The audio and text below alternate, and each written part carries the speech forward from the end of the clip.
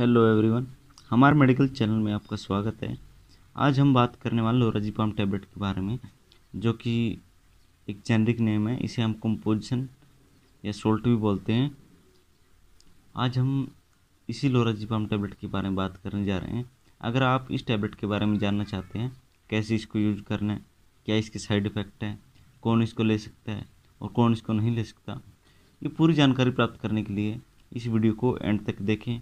और अगर आप हमारे इस चैनल पर नए हैं तो चैनल को सब्सक्राइब कीजिए, बेल आइकन को प्रेस कीजिए, ताकि आने वाली हर वीडियो की नोटिफिकेशन सबसे पहले आपको मिल सके। चलिए, अब हम बात कर लेते हैं लोराजीपाम टैबलेट के बारे में।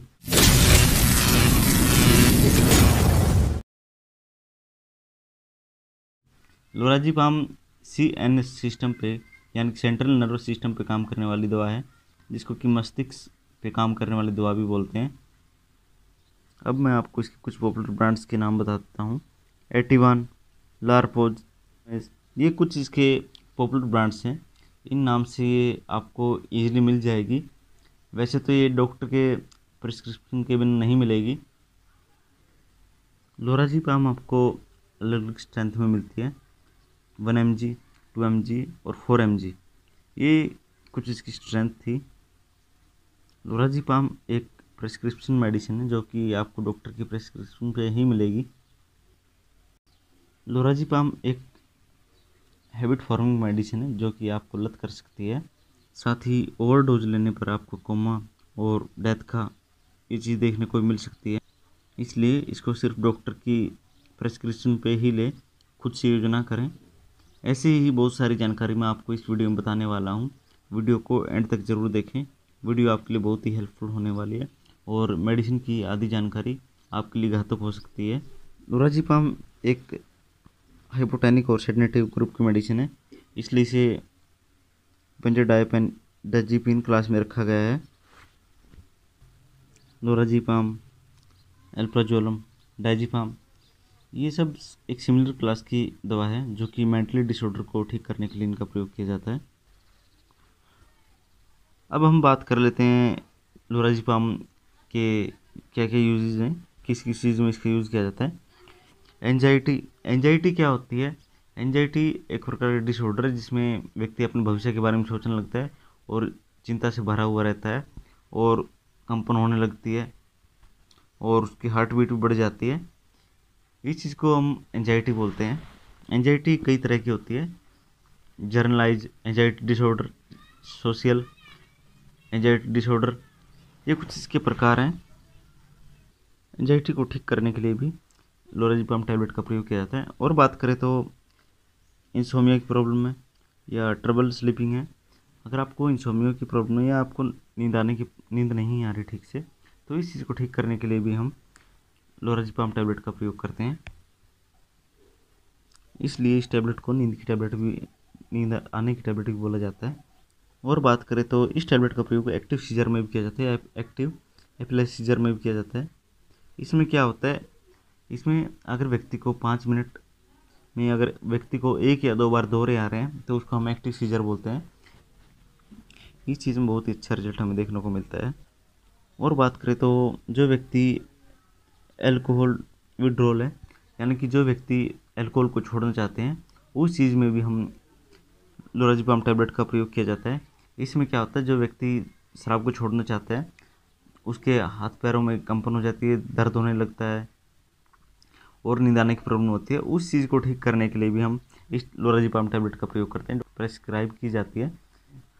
और हो सकता है डॉक्टर अपने एक्सपीरियंस के हिसाब से इस मेडिसिन को किसी और बीमारी में भी यूज़ करें। ये सब इसके यूज़ थे। अब हम बात कर लोराजिपाम मेंटल डिसऑर्डर की एक बहुत ही अच्छी टैबलेट है। लेकिन फिर भी कुछ कंडीशंस में नींद नहीं दी जाती। अब बात करें, जिनको नैरो एंगल ग्लूकोमा की प्रॉब्लम है, और बात करें तो एलर्जिक ऑफ़ बेंजाडाइजिपिन अगर कुछ जिनको इस ग्रुप की मेडिसिन से एलर्जी जैसे कि एल्प्राजोलम डाइजिपाम लोराजिपाम इनसे कोई उनको एलर्जी कंडीशन है तो उनको भी ये टैबलेट नहीं देनी है। या कोई प्रेग्नेंट वूमेन है या इलेक्ट्रिशियन मदर हैं, उनको भी टैबलेट नहीं दी जा सकती। साथ ही कुछ कंडीशन ऐसी है जिसमें कि आपको अपने डॉक्टर को बता देना चाहिए। उन कंडीशंस में डॉक्टर आपको डोज कैलकुलेट करके दे सकें। बात करें तो आपको ब्रेथिंग की प्रॉब्लम है रेस्पिरेटरी फेलियर है एल्कोहल एडिक्शन है डिप्रेशन की प्रॉब्लम है मूड प्रॉब्लम है सुसाइडियल थॉट है मसल वीकनेस है किडनी लीवर प्रॉब्लम है ग्लूकोमा की प्रॉब्लम है। इन कंडीशंस में आप अपने डॉक्टर को बताएँ, ताकि आपके डॉक्टर आपके लिए जो डोज है वो कैलकुलेट कर सकें और आपको डोज दे सकें। अब हम इसकी डोज के बारे में बात कर लेते हैं। इसकी डोज क्या रहेगी?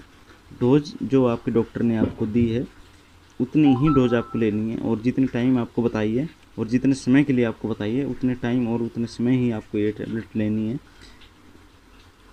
कम और ज़्यादा इस टैबलेट को नहीं लेना है। वैसे जर्नल डोज के बारे में एनजाइटी के बारे में बात करूँ तो मैं, दो से तीन मिलीग्राम तक ये टैबलेट दी जा सकती है। ये इसकी डोजेज हैं।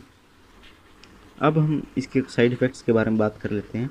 साइड इफ़ेक्ट्स के बारे में बात करें तो यादस्त में कमी होना, थकान होना, कब्ज होना, सिर दर्द, चिड़चिड़ापन, मुँह सूखना मतली या उल्टी होना, धुंधली दृष्टि होना, ये कुछ इसके साइड इफ़ेक्ट्स हैं। जो हमें देखने को मिल सकते हैं। इसलिए आप इस टैबलेट को सिर्फ़ अपने डॉक्टर की सलाह से लें और जिस तरीके से बताया उन्होंने, उसी तरीके से आपको लेनी है। अब हम कुछ विड्रोल सिम्टम्स के बारे में बात कर लेते हैं।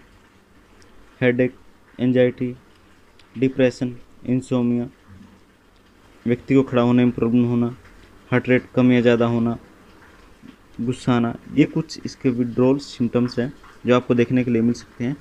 इसलिए आप इस टैबलेट को अपने डॉक्टर की इच्छा से ही लें और जितने टाइम आपको बताया, उतने टाइम ही लें और टैबलेट को एकदम से ना छोड़े। टैबलेट को धीरे धीरे उसकी डोज कम कर दे। तब आपको ये विड्रोल सिम्टम्स हैं, ये देखने को कम हो कम मिलेंगे। इसलिए जो आपके डॉक्टर ने आपको बताया, उसी तरीके से आपको इसको यूज़ करना है। ये इस टैबलेट के बारे में पूरी जानकारी है। अगर आपको मेरी ये वीडियो अच्छी लगी हो तो वीडियो को लाइक शेयर ज़रूर करना। और अगर चैनल पे नए हैं तो चैनल को सब्सक्राइब करना, बेल आइकन को प्रेस करना, ताकि आने वाली हर वीडियो की नोटिफिकेशन सबसे पहले आपको मिल सके। Thank you